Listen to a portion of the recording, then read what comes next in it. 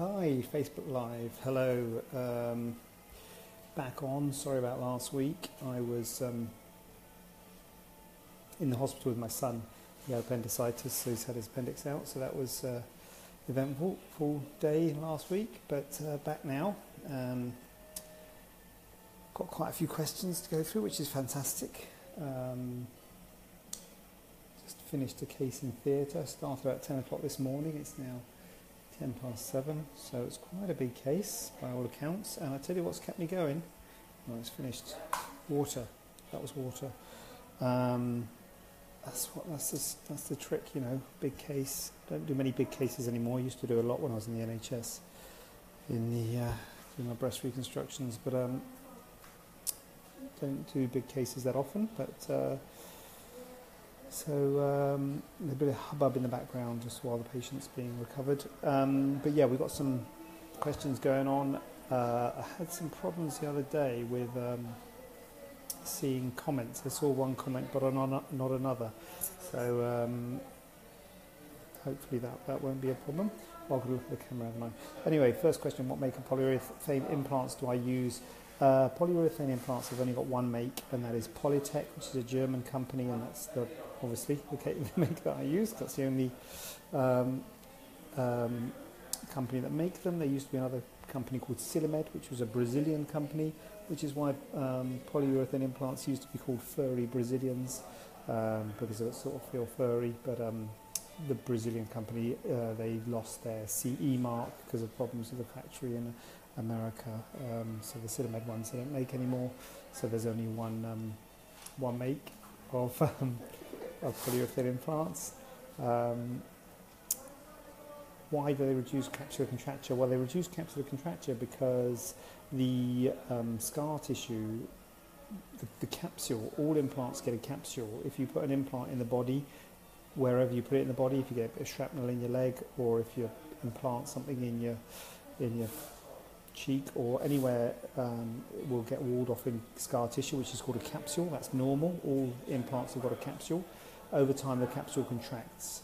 And what happens because an implant is squidgy, got an implant here for a later question, because it's squidgy as it contracts it makes the implant no longer squidgy and makes it hard and spherical. And uh, that's the problem with capsular contracture. Polyurethane foam implants have got a foam coating which is a three-dimensional foam which the, the scar tissue grows into the three-dimensional foam. So it doesn't just form a sheet around the capsule, it forms a it's in lots of different directions. So when the scar tissue contracts, it's contracting in lots of different directions, not as a sheet around the implant. So it doesn't squeeze the implant and make it feel hard. It, um, the, because there's a scar tissue going that way and one going that way, when they contract, it cancels itself out. That makes sense. That's how capsular, that's how polyurethane implants work, and that's why you have textured implants. Um, textured implants are meant to mimic, well, they're not meant to mimic, but they're sort of roughened the surface. And the way they make them, at least one of the companies, Mentor, makes them by imprinting polyurethane onto the wet silicone. So uh, they're trying to, in a way, I suppose, they're trying to mimic um, um, polyurethane foam by making it textured versus smooth implants, because uh, smooth implants um, said to have a higher rate of capsular contracture than textured implants. Textures are roughened, which breaks up, breaks up the scar tissue a bit, but um, polyurethane is the best with regards to capsular contracture, but then now smooth implants have come back in because people are talking about ALCL, uh, whether there's less of a risk of ALCL with it. Uh, smooth implants. Now the numbers are very small, um, and I think I don't think there's any cases with smooth implants, so that's something that might have an effect. But, but the numbers are so small, it's hard to get any statistical um, significance on that. Um, conical implants. Um, conical implants were very good implants and I used them a lot and I loved them, uh, particularly in people who were borderline for a breast lift. They were really, really good uh, because they give a lot of projection to the breast. But you can't use them anymore because they were made by Silimed, which is a company which no longer uh, has got the CE mark. So we can't use poly- uh, sorry, we can't use conical implants anymore, which is a real shame. So that's um, that's that. They're out now. So it's only just teardrop and teardrop and round are the only shapes that you can have. but obviously there's different projections. Custom implants. Do I make custom implants? Well, I don't make custom implants. um, but the custom implants are um, made, and you could have custom implants. Uh, custom implants for people, usually people who want to, well, custom breast implants for people who want to be very big, really.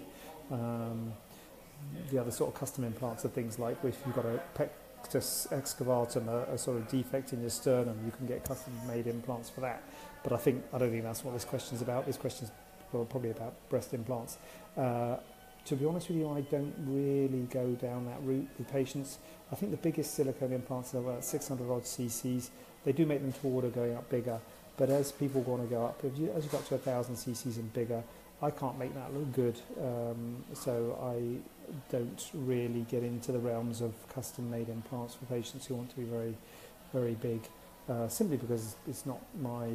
Um, I, I, I, as I say, I can't make it look good. So I would say go to someone who uh, maybe does a bit more of that sort of work. It's not really part of my um, patient group. I don't see many patients who want that. Um, fold implants. I think that what that's saying is um, yes. How does a fold cause a lump? Because we've got a patient, patient who's got a lump in a, in a, in a breast, has been to the doctors, had a scan. The scan said it's a knuckle of the implant, and what that means is that over time, I've got an implant here to demonstrate. Over time, um, this capsular contracture, so that, that's, a, that's a round implant there.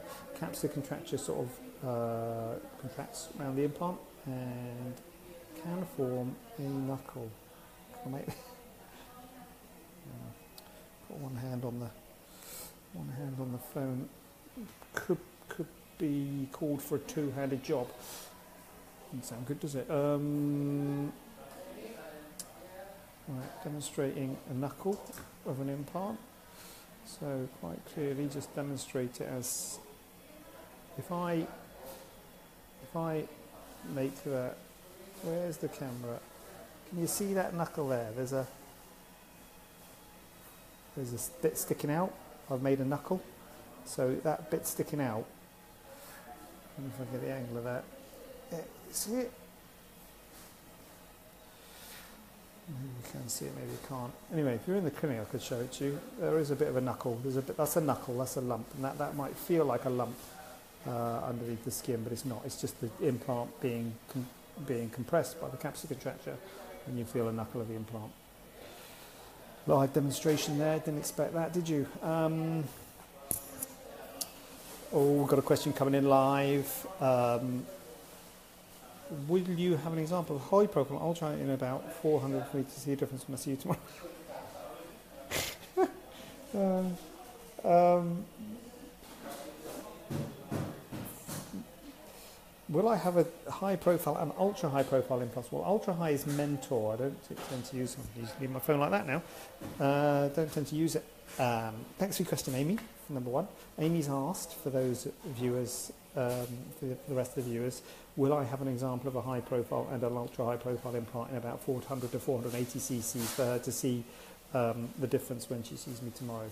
Um, so I, I use uh, Nagor implants, so I'll have I'll have an extra high and a high implant. I don't know if I'll have them that size. There's so many different types of implants. I think they're about 420 or something. The implants I've got, which I guess is 400 to 480 the size and the profile are different, and I wouldn't get too much into. Am I a bit close to the TV now? Uh, I wouldn't get too much into looking for a 400cc high profile and a 400. Just worry about the profile separate to the size. Um, the profile is really important. So if you want ultra high profile implant, oh no, high, well, you have to decide between high and ultra high. So we, we can talk about that, and I can show you a picture of people who've had high and ultra high. Probably not those volumes, but it doesn't matter that they're not those volumes because they don't fit that patient's width to fit that patient's chest. So the volume doesn't matter so much. So they give a different look on our high and an ultra high. Um, and then we've got to decide on the 400, 480. That will depend on your base width. So I think the decision won't be that difficult. I don't think you have to see those implants to get an idea of um, which one's right for you. The answer to your question, probably not, but I don't need to in order to hopefully convey what we can do with what, what you know what might be right for you. Um, but I do have high and extra high profile implants I think around that volume. Um, why swelling and numbness goes up and down after a breast reduction?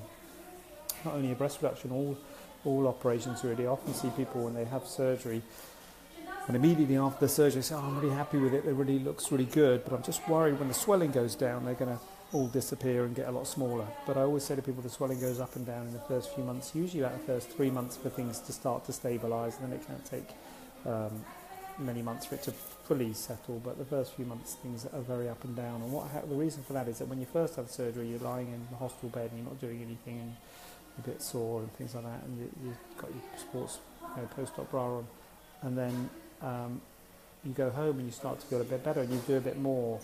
So when you're not doing anything, the swelling goes down. When you go home, you do a bit more, and the swelling goes up.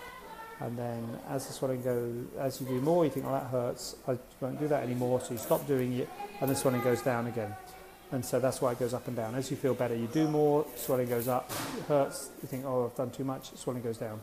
So that's why the swelling goes up and down the first few months. Just um, it's normal, so don't worry about it. And sometimes one swells more than the other, and uh, shapes and all sorts of things change in the first few months. So don't make any long-term decisions about the size in the first few months, especially not straight away. Don't think, oh, they're too big or they're too small, because, as I say, it goes up and down. So, um, so I'm swiping. Oh, I'm going to free hand. I'm swiping. Um, so I think that's my questions for this um, this one, this broadcast. Uh, thanks, Amy. You're uh, always a good contributor, and I'm very grateful to you. And I will see you tomorrow. Look forward to it, and uh, see what we can do. And um, I'm going to check out and see what on earth they're doing next door to my patient. And um, I will see you here at the same time next week. Uh, I think they're after me. Okay, bye.